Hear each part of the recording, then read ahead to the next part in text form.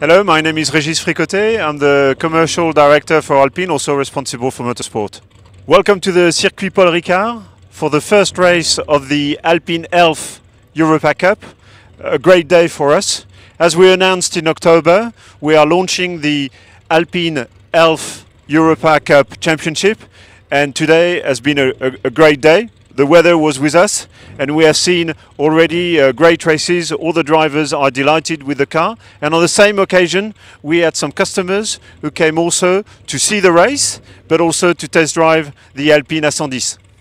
So on the occasion of this first race in Le Castellet, we also invited, with the support of our three dealers of the south of France, Fréjus, Nice and Marseille, the three Alpine centers invited their customers, some prospect and some people with already have received their Alpine Première Edition.